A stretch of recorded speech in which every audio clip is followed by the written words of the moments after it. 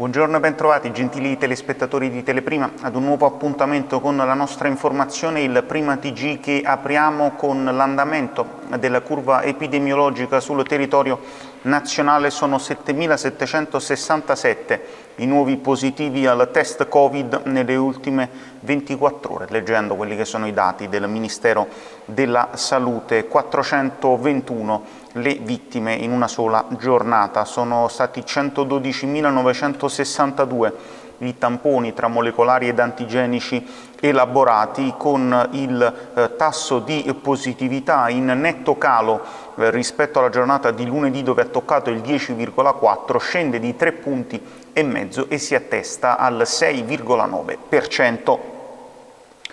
In Campania invece i dati di consueta competenza dell'unità di crisi regionale nella giornata di martedì 6 aprile certificano 846 nuovi positivi, di cui 323 persone sintomatiche. I tamponi molecolari sono stati 6.505, gli antigenici 872 per un tasso di incidenza del 13%. Le vittime sono state 62, di cui 41 eh, scomparsi nelle ultime 48 ore e 21 in precedenza, ma contabilizzati soltanto nel più recente bollettino 1380 i guariti. Per quanto concerne il report di posti letto su base regionale sono 656 posti di terapia intensiva a disposizione della Regione e ne sono occupati 160, sono invece 3.160 i posti di degenza ordinaria tra offerta pubblica e privata, ne sono occupati 1.603 Giornata importante per il futuro della vaccinazione in Italia e non solo, perché oggi alle 16 ci sarà il verdetto dell'EMA sul vaccino di AstraZeneca con l'Agenzia europea pronta a pronunciarsi sul presunto legame tra il preparato anglo-svedese e i rarissimi casi di trombosi venosa cerebrale eh, che hanno colpito nei 30 paesi dello spazio economico europeo 44 persone su oltre 9 milioni di vaccinati. Secondo quello che già trapelato nelle ultime 24 ore, l'EMA potrebbe aggiornare le proprie valutazioni, riconoscendo dunque questo legame tra il vaccino e la trombosi, eh, fermo restando comunque che i benefici superano di gran lunga i eh, rischi, dunque eh, sarà eh, presumibile una delega ai singoli stati per decidere eh, come andare a somministrare nel modo più sicuro possibile questo siero, ad esempio in Francia viene già somministrato agli over 55 e agli over 60 in Germania e over 65 in eh, Finlandia. In Italia comunque si sono intensificati i controlli con l'Agenzia Nazionale per il Farmaco e il Ministero della Salute e prende sempre più piede la possibilità di destinare AstraZeneca solo alla popolazione anziana, dunque over 60 o over 65. Naturalmente questo limite andrebbe a rallentare ulteriormente quella che è la campagna vaccinale e quelle che sono le possibili cause di riferimento a questi episodi tromboembolici sono stati spiegati dal responsabile dell'EMA Marco eh, Cavaleri che ha detto eh, la più avvalorata tra le ipotesi che colpisce ad esempio eh, le ehm, donne eh, giovani c'è una risposta autoimmune a seguito dell'inoculazione della dose che porta all'attivazione di alcuni fattori di abbassamento delle piastrine andando a influire sulla coagulazione del sangue causando poi quelli che sono gli eventi tromboembolici.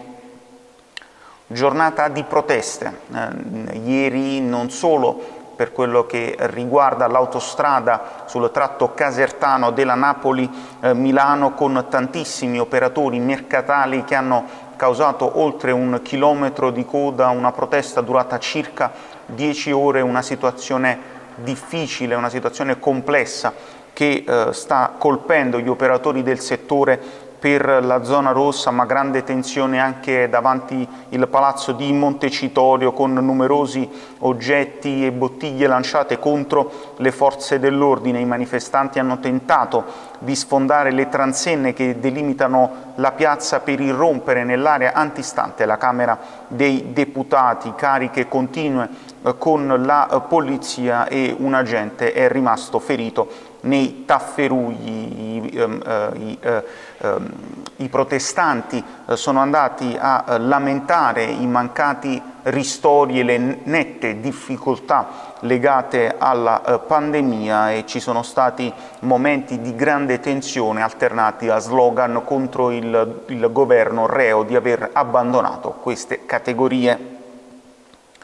Oltre 6.000 medicinali di origine cinese, tra cui farmaci venduti come anti-Covid, sono stati sequestrati dai carabinieri del NAS di Torino. Questi medicinali erano privi delle autorizzazioni AIFA ed EMA. Le indagini sono partite lo scorso gennaio dopo la scoperta di alcune eh, confezioni di medicinali chiuse all'interno di una rivendita al dettaglio di generi alimentari. I medicinali erano stoccati in una rivendita all'ingrosso con sedi a Prato e eh, Firenze di proprietà di un cinquantenne che è stato denunciato. I medicinali sono stati rinvenuti a seguito di alcune eh, perquisizioni e gli accertamenti hanno condotto eh, i militari a una società di rivendita all'ingrosso e le quasi eh, 6.200 confezioni che sono state sequestrate avrebbero fruttato dei profitti indebiti di circa 60 milioni 60.000 eh, euro, oltre naturalmente a quello che è il potenziale rischio per la salute dovuto all'assunzione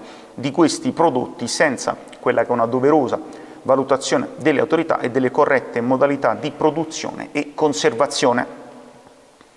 Ci spostiamo ora in Campania con il governatore della regione Campania Vincenzo De Luca che ha divulgato un messaggio chiedendo delucidazioni al governo italiano sull'utilizzo di AstraZeneca, ha detto il Presidente, il disastro comunicativo e le decisioni di altri paesi stanno eh, determinando un crollo con la somministrazione di questo vaccino. Invitiamo il Governo a decidere sull'utilizzo di AstraZeneca per evitare ulteriori ritardi e questa situazione, ha detto il governatore, rende ancora più urgente e rapida la valutazione su un altro vaccino, quello Sputnik, ogni giorno eh, perduto nella valutazione di questo vaccino è un atto di irresponsabilità, ha attaccato il presidente eh, De Luca. Tra l'altro nella giornata di ieri è scaduta quella che era l'ordinanza di chiusura eh, con riferimento a aree mercatali, parchi, e lungomare, dunque restano quelle che sono le eh, disposizioni emanate dal governo con riferimento alla zona rossa in cui la Campania si trova ancora. Ora un fatto di cronaca a Benevento, sono due eh, cittadini che avrebbero effettuato una vera e propria spedizione punitiva nei confronti di un loro conoscente andandolo a colpire eh, più volte con una mazza da baseball e sono stati arrestati dagli uomini della squadra mobile eh, del eh, capoluogo provinciale. Ai due poliziotti sono state eh, notificate queste misure cautelari degli arresti eh, domiciliari eh, sono, eh, che nei confronti di questi due soggetti accusati di lesioni aggravate da uso di arma impropria per fatti avvenuti nel novembre 2020. La vittima è stata ripetutamente colpita con una mazza da baseball in una via del centro cittadino gli sono state causate lesioni che hanno reso necessario il ricovero presso l'ospedale San Pio di Benevento. Questa eh, spedizione eh, avvenne eh, perché la vittima era stata eh, ritenuta responsabile del danneggiamento avvenuto eh, poco tempo prima di alcune macchine parcheggiate in prossimità di un rione locale. A Somma Vesuviana da domani giornata importante perché partirà il polo per le vaccinazioni contro il Covid, il primo di tutta la provincia napoletana e gli anziani non si sposteranno dal proprio territorio grazie all'assistenza domiciliare H24 e inoltre con l'ambulanza della solidarietà e i volontari della misericordia. Sul punto sentiamo proprio le parole dei volontari e del primo cittadino locale. Sì, era una notizia che attendevamo da molto tempo, ci stavamo lavorando da circa tre mesi e grazie alla sinergia con la Curia di Nola e ringrazio vivamente il Vescovo che è, ci ha dato una mano grandissima per donarci, per darci il comodato d'uso gratuito non direttamente a noi ma all'ASL questo punto vaccinale. Ringrazio la dottoressa Tavella, dirigente dell'ASL Napoli 3 Sud, cioè, si è creata subito la giusta sinergia e abbiamo appena firmato l'atto ufficiale e Somma Vesuviana al 99% da giovedì prossimo diventerà un hub vaccinale che servirà non solo ma soprattutto i sommesi ma anche i comuni limitrofi. Non dimentichiamo che Somma si è dotata di un'ambulanza anche locale. Questo... Allora, domanda, l'ambulanza quindi interagirà con questo centro vaccinale, ad esempio se c'è una persona anziana che ha la necessità di essere accompagnata al centro vaccinale, questo sarà possibile con l'ambulanza?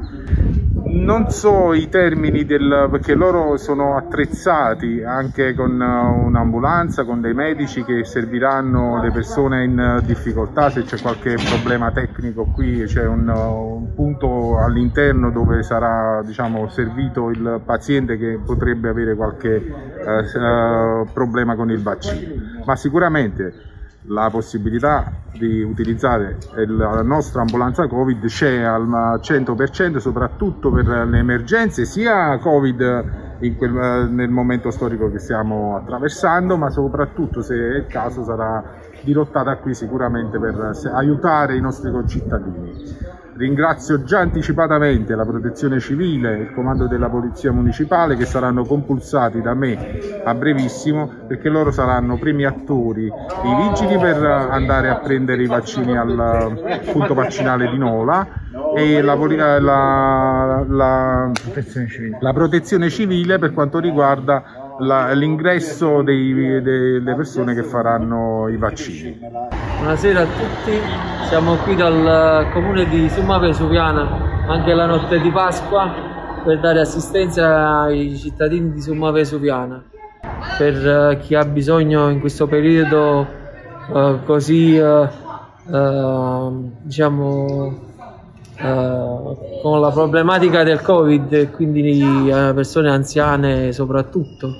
E oggi pomeriggio siamo stati a casa di alcune persone che avevano bisogno di noi e abbiamo fatto dei controlli di saturazione, pressione, ossigeno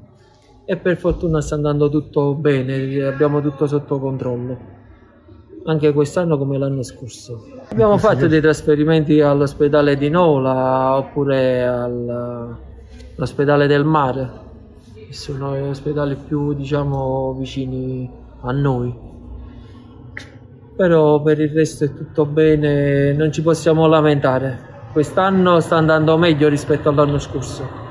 A Caserta, nuovo aggiornamento della curva pandemica sul territorio con i dati diramati dall'ASL di Terra di Lavoro. Nella giornata di martedì 6 aprile sono 123 i nuovi positivi certificati, a cui si aggiungono 8 deceduti e 98 guariti. I tamponi processati sono stati 730 per un tasso di incidenza del 16,84 nel saldo complessivo. Si evidenzia un aumento di 17 contagiati sul territorio. Per quanto concerne le singole città, Caserta in cima per numero di casi attivi con 608 positivi, c'è poi Marcianise con 484 e Maddaloni con 473.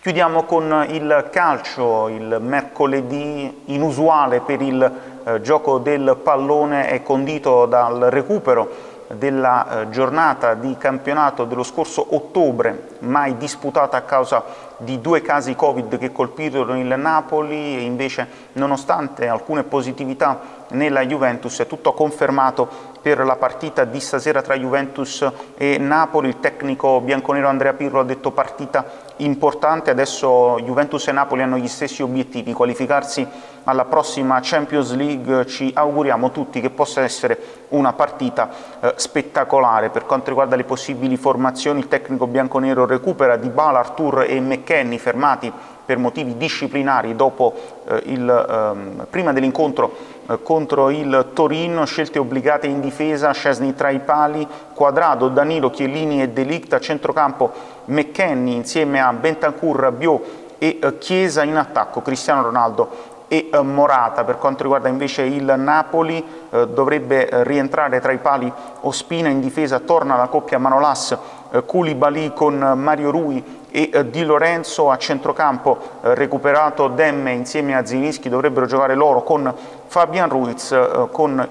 Losano che rientra dal primo minuto insieme a Insigne e Mertens leggermente favorito nel ballottaggio con Osimen fischio d'inizio quest'oggi alle 18.45